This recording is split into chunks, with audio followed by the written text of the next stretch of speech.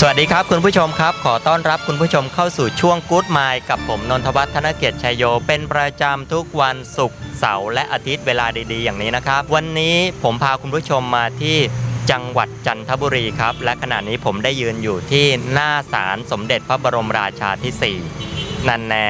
คุณผู้ชมคงนึกไม่ออกนะครับ ว่าศาลสมเด็จพระบรมราชาที่ 4 คือศาลขององค์ไหน แต่ถ้าผมบอกว่าเป็นศาลสมเด็จพระเจ้ากรุงธนบุรี หรือศาลสมเด็จพระเจ้าตากสินมหาราช คุณผู้ชมคงร้องอ๋อเลยทีเดียวครับ แน่นอนครับผมยืนอยู่หน้าศาลสมเด็จพระเจ้าตากสินมหาราชที่จังหวัดจันทบุรี ซึ่งเป็นจังหวัดที่พระองค์ท่านนั้นได้รวบรวมไพ่พลเพื่อกอบกู้เอกราชให้กับกรุงอโยธยาครับ และวันนี้ผมจะพาคุณผู้ชมไปรู้จักกับศาลสมเด็จพระเจ้าตากสินมหาราชที่ประดิษฐานอยู่ที่จังหวัดจันทบุรีกัน เดี๋ยวไปติดตามรายละเอียดกับผมได้เลยนะครับ ไปเลยครับ คุณผู้ชมครับศาลสมเด็จพระเจ้าตากสินมหาราช เป็นสถานที่สำคัญอีกแห่งหนึ่งของเมืองจันทบุรีนะครับบ่งบอกถึงความผูกพันของชาวเมืองนี้ที่มีต่อพระเจ้าตาก โดยมีคำกล่าวว่าถ้าไม่ได้มาสักการะพระเจ้าตาก ก็ถือว่ายังมาไม่ถึงเมืองจันทร์นะครับศาลสมเด็จพระเจ้าตากสินมหาราชนี้ เดิมเป็นศาลไม้อยู่ข้างศาลเจ้าพ่อหลักเมือง ต่อมาในปีพุทธศักราช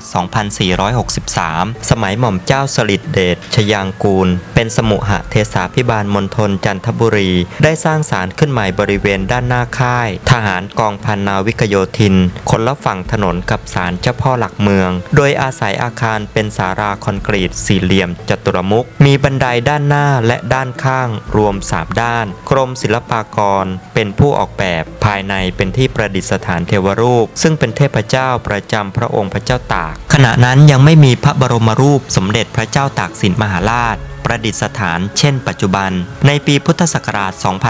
2534 ชาวจังหวัดจันทบุรี ได้ร่วมกันบริจาคเงินสร้างศาลสมเด็จพระเจ้าตากสินขึ้นใหม่อีกหลัง เป็นศาลทรงเก้าเหลี่ยมคู่กับศาลเดิมศาลสมเด็จพระเจ้าตากสินเป็นศาลทรงเก้าเหลี่ยม หลังคาเป็นรูปพระมารา เป็นที่ประดิษฐานพระบรมรูปสมเด็จพระเจ้าตากสินมหาราช ซึ่งหล่อด้วยทองเหลืองรมดำผนังภายในเขียนลายพุ่มเข้าบินไว้อย่างสวยงาม ชาวจันทบุรีถือว่าสมเด็จพระเจ้าตากสินมหาราช ทรงมีพระมหากรุณาธิคุณทำให้จันทบุรีเป็นที่รู้จัก และเป็นส่วนหนึ่งของประวัติศาสตร์ การกอบกู้เอกราชคราวเสียกรุงครั้งที่สองในฐานะเป็นฐานที่มั่นของสมเด็จพระเจ้าตากสิน ในระหว่างการรวบรวมพลรวมถึงเสบียงอาหาร และสถาปนาอำนาจขึ้นใหม่ กล่าวคือ ในปีพุทธศักราช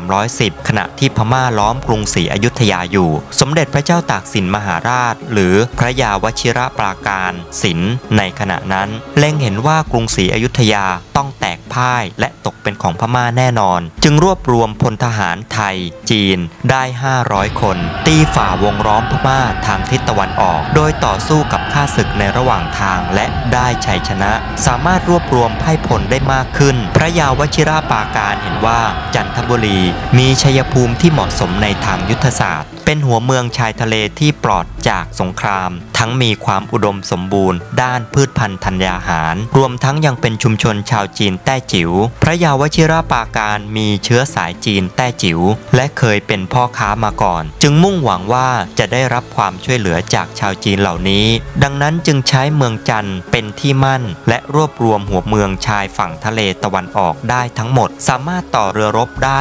100 ลำ มีผู้สวามิภักดิ์มากขึ้นถึง 5,000 คน แล้วกลับไปตีทัพพม่าขับไล่ออกไปจากอายุทยาได้สำเร็จนับเป็นการกอบกู้เอกราชของชาติกลับคืนมาได้อีกครั้ง เป็นอย่างไรบ้างครับคุณผู้ชมครับ และนี่ก็คือเรื่องราวประวัติต่างๆ รายละเอียดของศาลสมเด็จพระเจ้าตากสินมหาราช รวมไปถึงศาลหลักเมือง ซึ่งเป็นสถานที่เคารพสการะของชาวจังหวัดจันทบุรีนะครับ เรื่องราวรายละเอียดต่างๆ ยังไม่หมดแต่เพียงเท่านี้นะครับ ในสัปดาห์หน้าผมจะพาคุณผู้ชมไปที่อู่ต่อเรือ บ้านเสม็ดงามตำบลหนองบัวอำเภอเมือง จังหวัดจันทบุรี อย่าลืมติดตามรับชมนะครับ ในสัปดาห์หน้าพบกันที่อู่ต่อเรือบ้านเสม็ดงามครับ สวัสดีครับ